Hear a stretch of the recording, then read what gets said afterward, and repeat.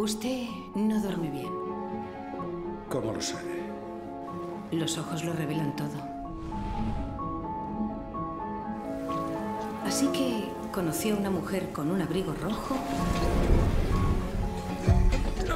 que desapareció ¿Conoce este libro? Ayer se lo vendí a alguien. y lo ha dejado todo. Unos billetes de tren. ¿A dónde? A Lisboa. El tren sale en 15 minutos. Me encantaría ser capaz de dejarlo todo. ¿Lo hace frecuentemente? No, nunca había hecho nada parecido. Habla como si lo hubiera escrito usted. Ya me hubiera gustado. Amadeu de Prado habla de todo lo que me ha atormentado siempre. Pero ¿quién querría ser realmente inmortal? Únicamente gracias a la muerte el tiempo es algo vivo.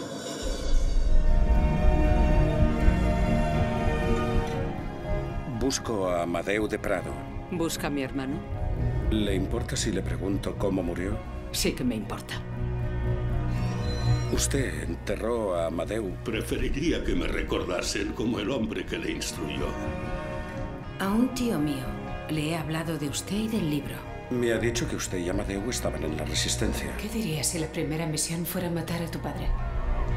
Su vida, su mundo, era tan extraordinario que a su lado el mío es insignificante. Quiero saber qué pasó. Dame tu arma. No saben lo que se está metiendo.